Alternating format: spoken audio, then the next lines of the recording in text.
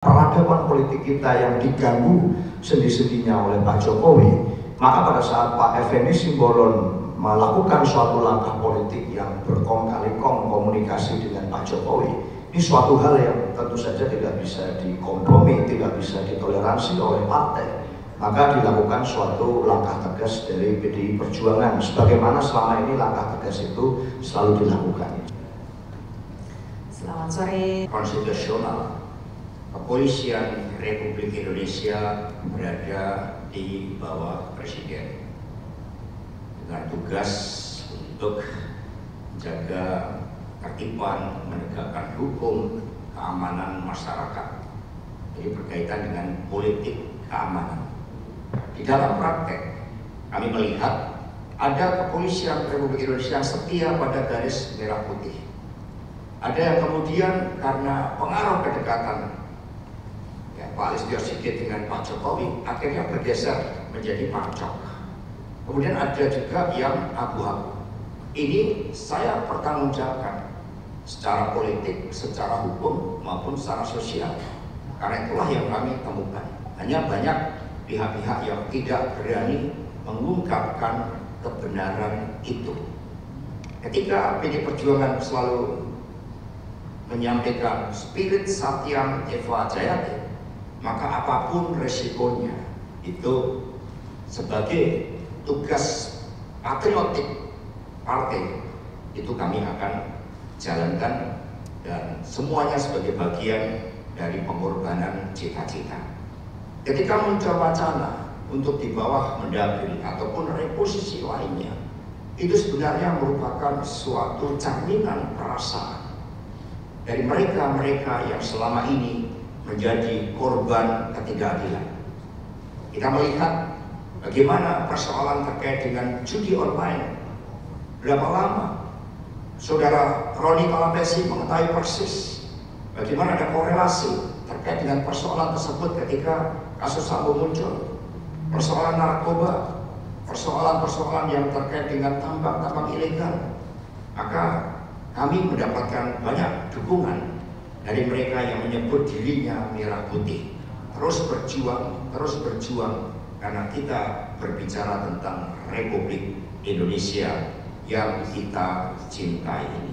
Tentu PD Perjuangan taat pada konstitusi tetapi tugas di dalam fungsi agregasi kepentingan politik kami menyampaikan berbagai aspirasi agar muncul suatu kesadaran baru bahwa Republik Indonesia dengan jiwa-jiwa kepahlawanan yang luar biasa ini dapat kokoh berdiri dan dijauhkan dari penyalahgunaan kekuasaan justru oleh aparatur negara yang bekerja dengan dana dari rakyat, dari pajak-pajak rakyat. Itu. Kemudian berkaitan dengan kandang banteng, kita tahu bahwa dengan hasil pilkada ini ternyata terjadi persemaian kandang-kandang banteng di tempat lain di Aceh, di Sumatera Barat, di Rio, Kalimantan Barat dan sebagainya, di Papua, bahkan di Rio pertama kali dimenangkan oleh PD Perjuangan untuk pemilu legislatif dan juga pemilu gubernur dan wakil gubernur. Ini menunjukkan suatu persemaian. Nah, Jawa Tengah kita melihat bekerjanya berbagai instrumen-instrumen kekuasaan itu. Maka kami meyakini bahwa suara kebenaran itu akan semakin bergaung karena kita semua ingin menjaga republik ini. Kita semua tidak menginginkan kapal besar Indonesia Raya crash hanya karena tiadanya hukum yang berkeadilan. Itulah yang kami lakukan terkait dengan Bapak Effendi Simbolon. Silakan Bung Seno untuk memberikan jawaban. Terima kasih Pak Sekjen. Assalamualaikum semuanya. Uh, jadi Bapak Ibu dan teman-teman semua, kita tahu bahwa dalam berpartai itu dipandu oleh sebuah cita-cita dan gagasan, perangkat nilai dan prinsip-prinsip. Dalam hal ini maka pada saat melakukan komunikasi, menjalin suatu pertemuan, itu juga harus dilandaskan oleh gagasan dan value itu. Maka dalam case Pak Effendi Simbolon, ini tidak pernah sekalipun partai tidak tegas dalam mengambil sikap apabila berkaitan dengan prinsip-prinsip value itu. Effendi Simbolon ini bertemu dan berkomunikasi dengan Pak Jokowi. Ini beda persoalan kalau dengan yang lain-lain, tokoh politik yang lain. Tapi ini bertemu dengan Pak Jokowi sebelum kemudian mengambil suatu langkah politik yang berbeda dengan rekomendasi partai. Jadi kalau bicara tentang Pak Jokowi, maka berbagai persoalan dan dosa-dosa politik yang terjadi selama setidaknya beberapa waktu terakhir ini itu yang mendapatkan berbagai macam kecaman, kritik dan berbagai perbincangan yang begitu luas di antara anak-anak muda tentang masa depan politik kita, peradaban politik kita yang diganggu sendi-sendinya oleh Pak Jokowi. Maka pada saat Pak Effendi Simbolon melakukan suatu langkah politik yang berkong kali kong komunikasi dengan Pak Jokowi ini suatu hal yang tentu saja tidak bisa dikompromi, tidak bisa ditoleransi oleh partai. Maka dilakukan suatu langkah tegas dari PDI Perjuangan. Sebagaimana selama ini langkah tegas itu selalu dilakukan. Jadi kalau dengan yang lain-lain tentu partai masih kemudian akan melakukan suatu proses mediasi. Tetapi kalau bicaranya ini hari ini dengan Pak Jokowi maka prinsipnya tegas. Ini yang diambil oleh partai. Itu Mbak. Terima kasih. Jadi maksudnya Bung Seno kalau ketemu Pak Prabowo nggak apa-apa nah, kira-kira seperti itu silakan Pak Deddy tambah ya eh, tadi saya ingin merespon yang tentang Parcok ya. Tadi sudah disampaikan Pak Sekjen. Jadi sebenarnya kan begini. PDI Perjuangan tidak mungkin apa namanya mengkhianati cita-cita reformasi. Ketika Ibu Megawati memutuskan untuk memisahkan Polri dan TNI itu berangkat dari kesadaran untuk membangun budaya sipil. Sehingga e, Polri sebagai lembaga sipil yang dipersenjatai itu diberikan e, kemandirian independensi untuk menjaga mengawal melindungi melayani masyarakat dan tentu segala aturan perundang-undangan dan konstitusi. Secara presisi itu ya. Mereka punya sumpah yang namanya Tribrata dan Catur Prasetya yang kalau dilihat butir per butir itu sungguh-sungguh satria sifatnya ya.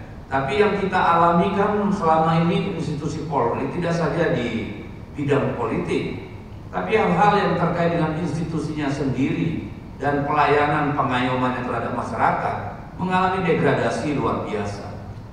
Tidak saja di tingkat bawah di mana banyak sekali oknum e, Polri yang kemudian terlibat narkoba, perkelahian dan segala macam, ya e, banyak sekali kita temui. Tapi sudah sampai ke pucuk hingga kejadian Sambo kemarin kita melihat betapa mengerikan.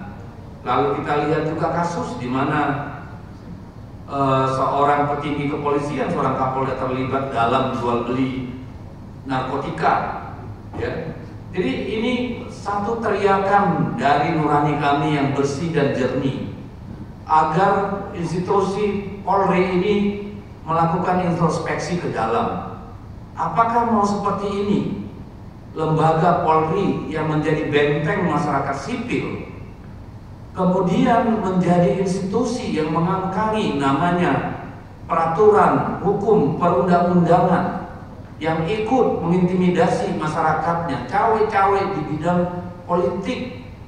Kalau institusi Polri sebagai benteng masyarakat sipil kemudian tunduk pada kekuasaan maka masyarakat sipil rentan menjadi korban kesewenang-wenangan. Itulah yang ingin kami koreksi. Dan itu sekarang dengan dukungan yang kami terima dari masyarakat luas.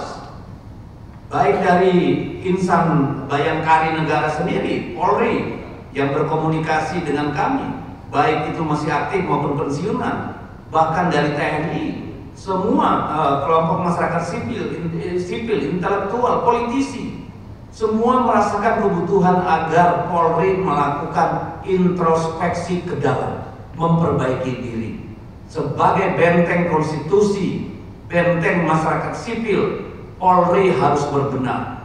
Polri harus mengevaluasi diri, itu yang kami ingin sampaikan.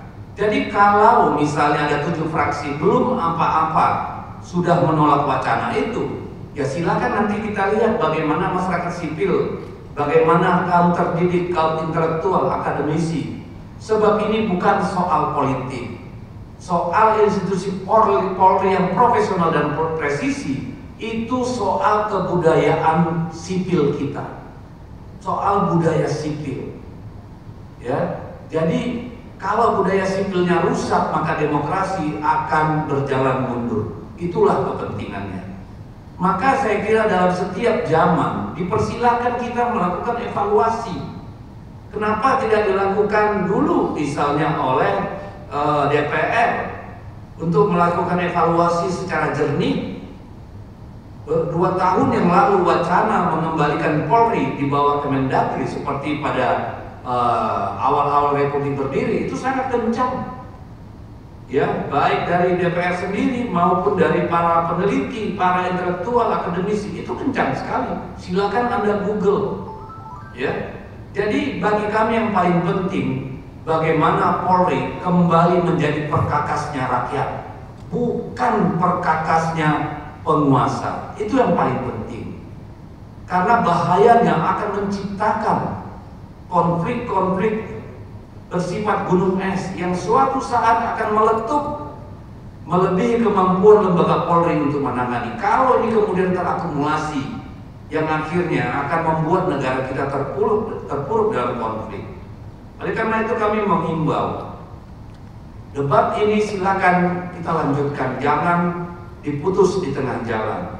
Ini adalah kesempatan bagi Polri mengoreksi diri dan bagi kita semua untuk bersama-sama memahami bahwa kekuasaan itu juga ada batasnya.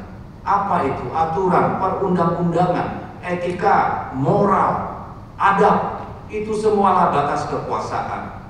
Dan Polri lah sebagai benteng masyarakat sipil menjaga daripada yang namanya penyalahgunaan kekuasaan. Terima kasih Pak Sedi. Baik, yang lain? Cukup? Silakan. Terakhir. Silakan. Ya, saya kira belum apa-apa DPR sudah mau mencoba otoriter. Sejak kapan mereka punya hak untuk melarang anggota DPR untuk bersuara tentang apa pun? Ya, belum apa-apa sudah otoriter begitu, apalagi Komisi 3 atau MKD, silakan. Saya sebagai anggota DPR RI punya kewajiban menurut undang-undang melakukan edukasi politik hak saya untuk melakukan itu. Kalau saya berbeda pendapat dengan dia, bukan berarti dia boleh sewenang-wenang manggil dan mengadili orang. Silakan dipelajari dulu. Ya, ada tahapan-tahapannya.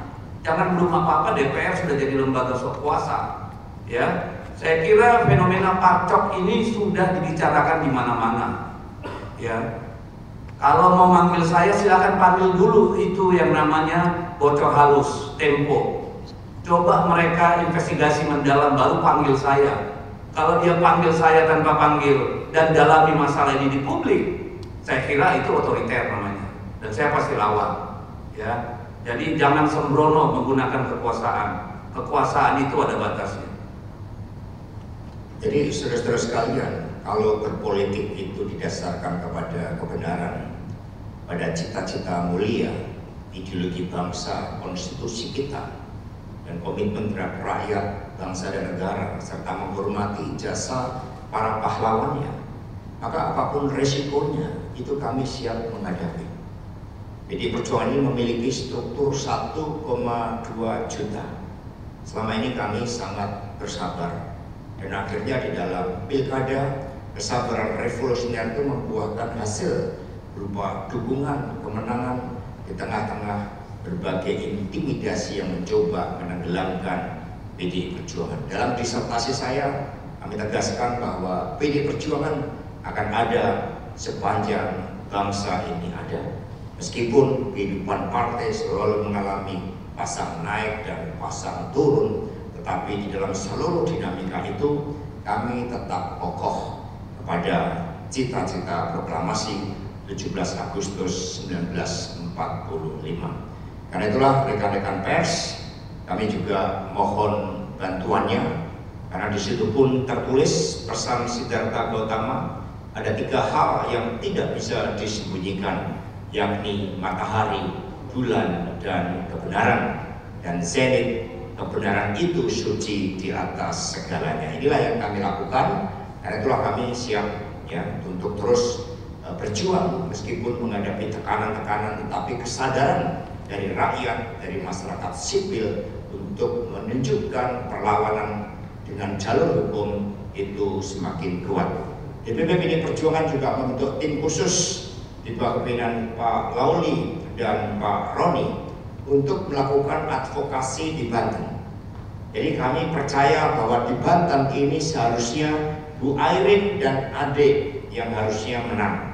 Kalau tidak ada pengerahan berbagai instrumen dari Parcok tadi, kami yakin Bu Airin, Kang Ade akan menang.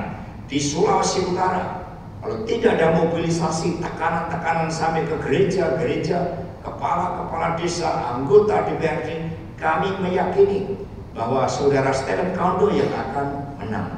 Di daerah Jawa Tengah, kami meyakini sekiranya tidak ada instrumen kekuasaan dan sumber daya negara yang dikerahkan, kami meyakini bahwa Andika Hendi akan menang. Sumatera Utara, Letnan Jenderal TNI Purnawirawan Edi Rahmayadi Hasan Basri, kami meyakini akan mampu memenangkan kalau tidak ada instrumen negara dan sumber-sumber negara yang dikerahkan. Tidak ada upaya-upaya di dalam membentengi berbagai ruang kebebasan demokrasi. Demikian pula di Jawa Timur. Karena itulah rekan-rekan semua kami terus bergerak dengan keyakinan dan sekali lagi kami menghimbau kepada seluruh rakyat Indonesia sekiranya kapal Republik Indonesia tidak ingin crash maka mari kita bersama-sama tegakkan kebenaran hanya dengan cara itu kita akan menyelamatkan masa depan. Terima kasih kurang lebihnya. Silakan. Ya, tadi ada pertanyaan soal Jateng apakah masih kandang banteng. Kalau kita lihat persentase perolehan suara pasangan Andika dan Hendy itu sekitar 40, sekian, hampir 41 persen. Sementara perolehan kita ketika eh, pemilu legislatif ya itu berkisar pada angka 25,6 persen. Jadi artinya pemilih Banteng masih tetap setia dengan PDI Perjuangan karena angkanya ya hampir dua kali lipat pemilu legislatif. Itu adalah bukti bahwa Jawa Tengah masih menjadi rumah bagi kaum Mannheim. Dan kalau kita lihat dari perolehan Eh, kepala daerah itu 19 dari 35 artinya 54 persen daerah kabupaten kota masih memilih kader-kader banteng jadi kami terima kasih kepada warga Jawa Tengah terbukti bahwa uh, kepercayaan terhadap PD Perjuangan masih tetap tinggi kalau soal gubernur saya sudah bilang kemarin yang menang jangan bangga bahwa sesungguhnya bukan dialah yang menang tapi yang lain Terima kasih. Baik, terima kasih. Saya akhiri dengan wassalamualaikum warahmatullahi wabarakatuh. Om Santi Santi Santi Om Rahayu. Merdeka! Merdeka!